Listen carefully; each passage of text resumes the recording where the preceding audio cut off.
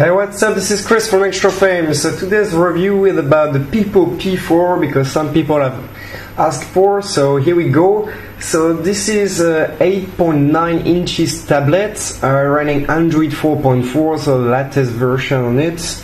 Um, what else to say for a quick introduction? Uh, we have here actually a full HD screen. So this is Samsung PLS with a frame of 16 tenths which is pretty nice. And so the resolution is actually very high with 1920 uh, by 1200 so it features like the Rockchip uh, 3288 Cortex A17 clock at the 1.8 gigahertz. So this is a quad core processor.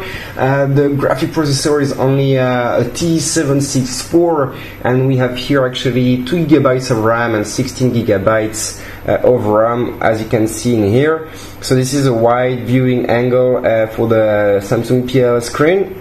And basically that's it. So we have um, however, we have GPS on this tablet, so which is very nice. Uh, the 3G will, is optional, so uh, it's built-in, but uh, will be available later. Uh, one extra feature of this tablet is actually it runs 4K uh, videos. For, for the people who don't know, this is like the H265 format, so a new format of videos, which is very nice to watch and uh, with a high, high, high resolution, basically. So let's open the box, see what's going on inside. So here, this is the tablet itself. So we'll get back to it very extremely soon. We have here the warranty card as usual by Pipo. And otherwise, if we open the box, what else do we have inside? Uh, we have actually a USB, micro USB cable. Alright. Otherwise, we have earphones pretty nice earphones actually. We have been checking the quality and the sound was pretty cool. So this is a 3.5mm jack. And then we have an OTG cable inside if you want to transfer some data from a USB stick or whatsoever you have in hand.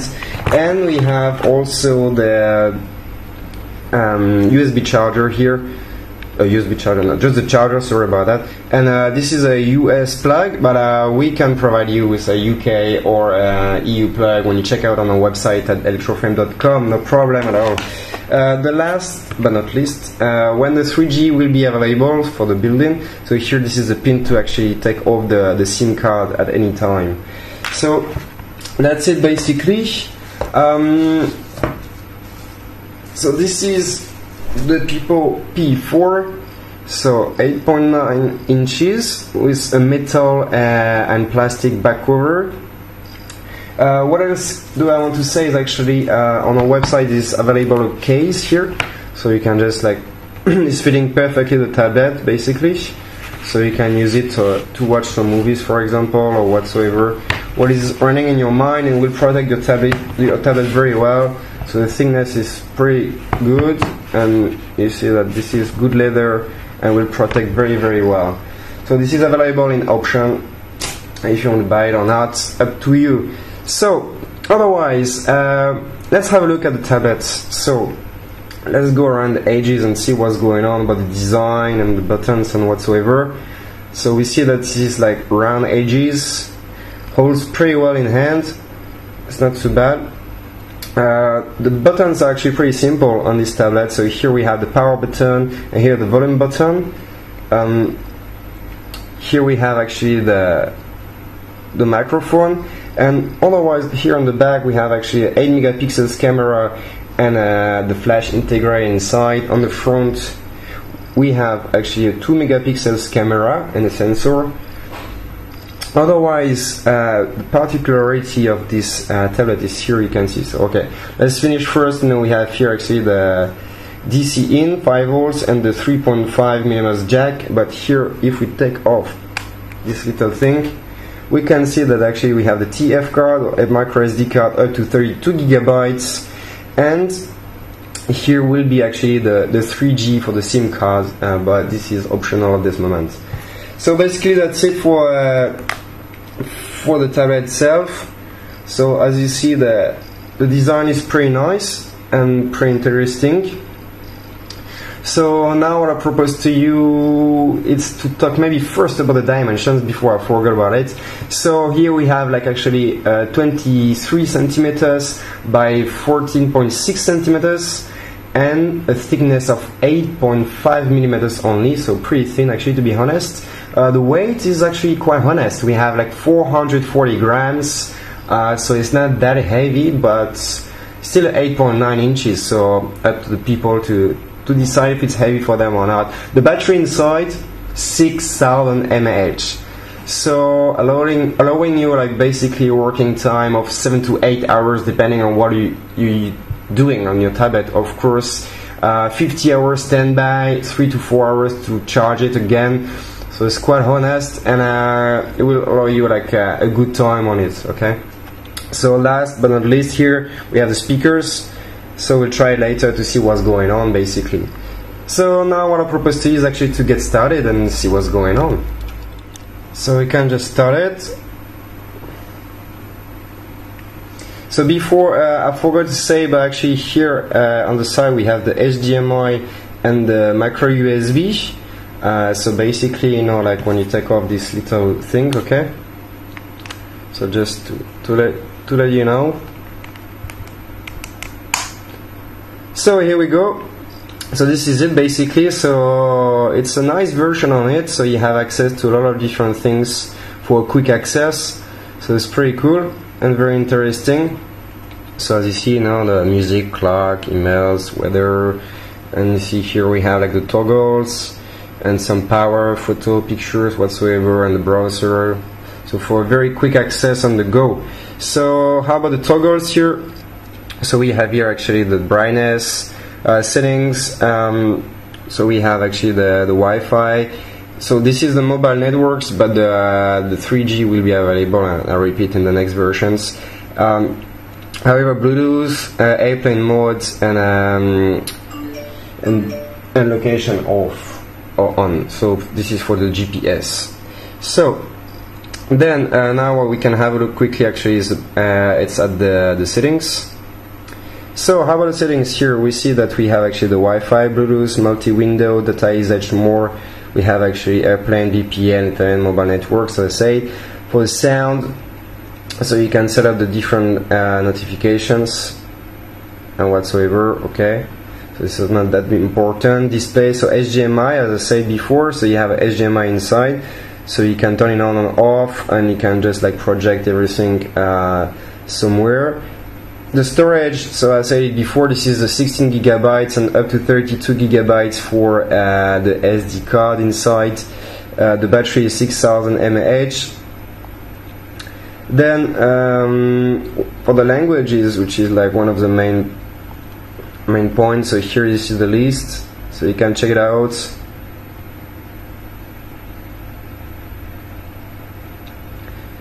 So you'll probably find your own language inside no problem. So then we have the Google account so you have the Play Store on it so you can download all your favorite applications without any problem at all. Daytime accessibility printing developer options for the people who wants to have like uh, advanced settings for the tablets. Is here we see this is Android 4.4.4 so the latest version of KitKat's uh, Pipo P4 and that's it basically. So now let's have a look actually at the Antutu benchmark so for the people who don't really know what is Antutu uh, or a benchmark, so it allows you to test the performances of your device and get a score out of it. So here we see that we have an impressive score of 36,625. Sometimes you can get up to 37,000, depending on uh, actually if the memory is clean or not. So usually it should be like around 30, 37,000. So why do we have such a high score on it? So here we can see what's going on. So basically, we have the Rockchip RK3288 as I said, so uh, quad-core processor, architecture Cortex A17 clocked 1.8 gigahertz. We have the Mali uh, T764 for the graphic processor, resolution FHD, so Full HD, 1920 by 1200. Uh, we have here they say 8 megapixels, okay, so I said before, and you can see on the back, I showed you before. Um, so 2 gigabytes uh, of RAM and um, 16 gigabytes of RAM quad core 1.8 gigahertz. 240 dpi for the density which is quite honest. So we have here 2 megapixels uh, on the front okay? So otherwise here they say not supported. So basically the NFC there is no NFC on it. And for the sensors we have quite a bunch and some are not supported, like the the proximity sensor basically, and uh, ambient temperature, um, and some others uh, like the relative humidity. I mean, basically all of them which are not usually um, on those tablets. So basically, anyway, let's go and let's check the multi-touch tester. So if we put our finger on it, okay, this is a 10 touch uh, capacitive touch, I mean 10 points capacitive touch screen. Um, otherwise, if we go back, let's check the root access. So we agree. Okay, verify the roots. Here they say that sorry, this device does not have proper root access. So basically, if you want to change the Android version on it, you will have first to root the tablets, and um, and please bear that in mind. That's it. So uh, here in this tablet we won't show the, the GPS test because actually we are inside of the house and was pretty weak. However, uh, we've been trying outside and uh, outside we were getting um, a pretty quick accuracy, um, I mean fixing accuracy on 105 uh, feet it was and uh, basically why it's not that accurate and why it's not that precise sometimes on the Pipo tablets is because mostly uh, of this uh, true metal back cover which is like kind of uh, avoiding the reception from time to time to be honest. But uh, it's still working quite well outside and it's no problem at all. And um, and basically that's it. So what else can we try? Actually we want to see what is going on with the sound and uh, and with the video so for that uh, we can just have a look. Okay before that we can first you know, see what kind of applications you have inside. Where you have the Play Store as you see uh, email, file manager, Google Maps and basic basic applications. So here you see that we have video 4K so you will be able actually to play uh, the 4K videos on this tablet, and no problem at all. You have documents to go if you want to work with office documents. So now uh, let's keep going. As I said and uh, actually we were going to check a video on it. So let's check it out. So turn the sound up and let's see what's going on.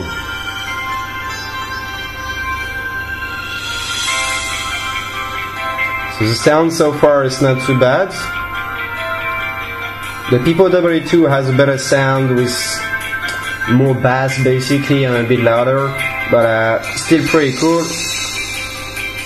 It won't stop you watching movies for sure. Not too bad. For such a small tablet. The rotation working. And you see the Samsung PLS does a good job. It's very nice with a high, high resolution on it. So will be quite cool to watch movies on it for sure.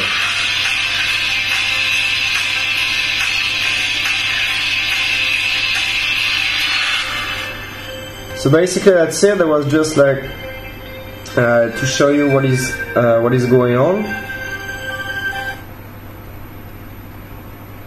So we can just come back. And now let's have a look actually at the gaming performances. So for that we have uh, Asphalt 8, which is a free game available on the Play Store and uh, which usually requires uh, quite a lot of uh, graphics.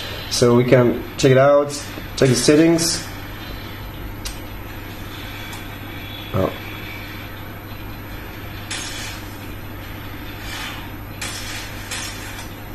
So in the settings here in sound and display, we can see that actually we have medium, high, low, very low. Actually, we have been trying uh, all of them, and in medium and high, you know, it basically doesn't really work out. So it's better to have actually in low settings. So please bear that in mind that you won't be able to play at the fully best, you know, basically the, the latest games available on the Play Store. So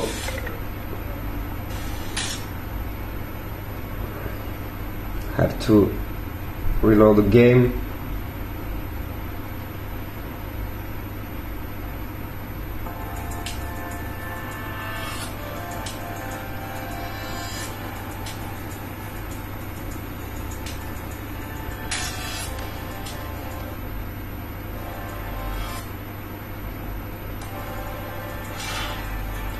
Let's start. Sorry about that.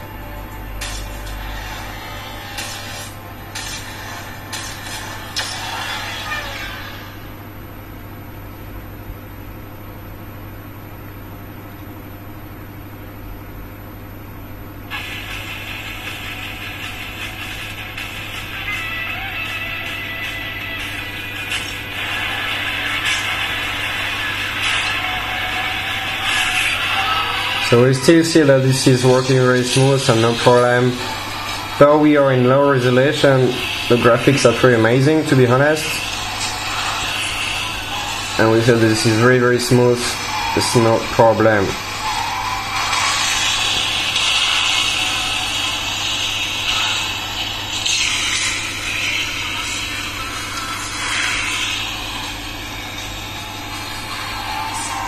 You will still be able to enjoy a lot of games on it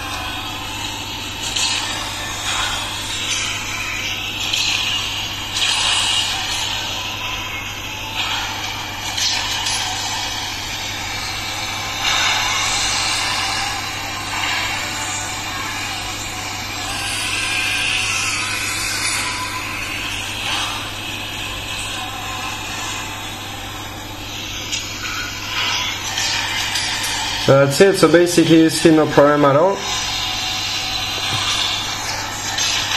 Alright.